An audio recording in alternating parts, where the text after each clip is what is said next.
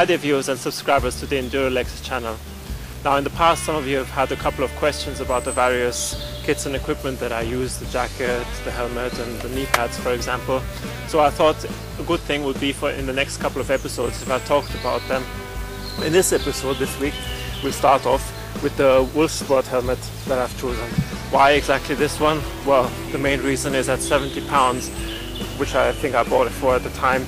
I'll put the link down at the bottom of the video from where I got it. I hope I find it again.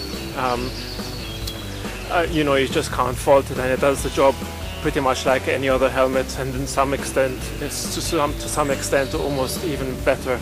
Now, I had helmets in the past like this before and the one thing that attracted me to this one, which made me feel safer, was just simply the fact that here for the beak, it had four screws that attach it to the helmet, which is very important for me because in the past I had one which I had only three. And uh, one of the screws popped out, came loose, and it was flapping about a bit. And the wind came, picked up this beak, and because there were only two screws on there instead of three, um, the wind managed to pull the helmet over, over my face, even though I had it tied up nicely. And uh, I couldn't see where I was going because my this bit here, the nose bit, was was uh, covering my my face.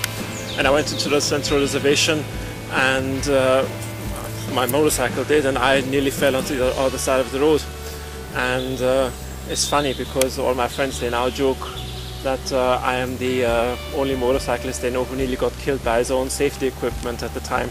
Another great thing about this helmet, if you want to, you can of course wear it with goggles if that is your thing.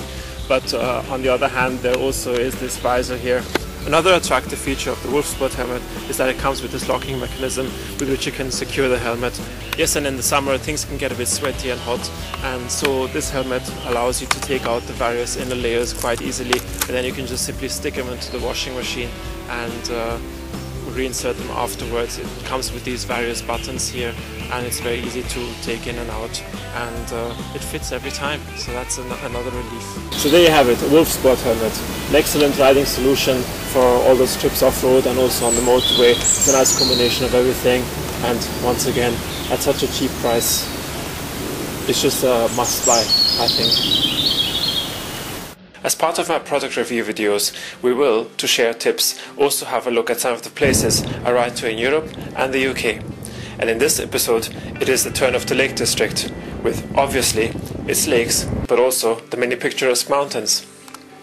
I stayed at the Dalkeith guest house, which was one of the few which could offer me a single room, as people seem to visit the area all year round. Riding around the Lake District, I met some friendly motorcyclists who showed me some fascinating sights and told me of the mountain passes that make the Lake District an interesting location for motorcyclists. I eventually found the Honister Pass on the B5289 road, which is one of the highest in the region at 1167 feet and also the steepest. And what a spectacular view it offered on the way down. In our next episodes, we will look at the knee pads I use and why, and also the heated gloves I have. I also rode to the Brecon Beacons again, and will share with you some of the tips about the area as well.